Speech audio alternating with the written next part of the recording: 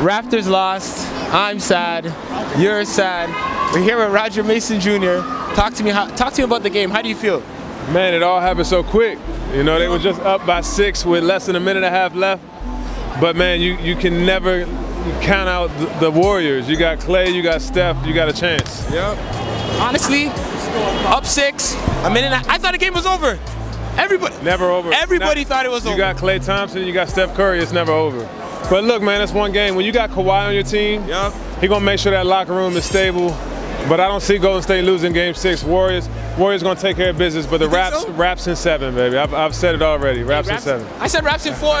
now I said Raps in five. Now I'm gonna say Raps in seven.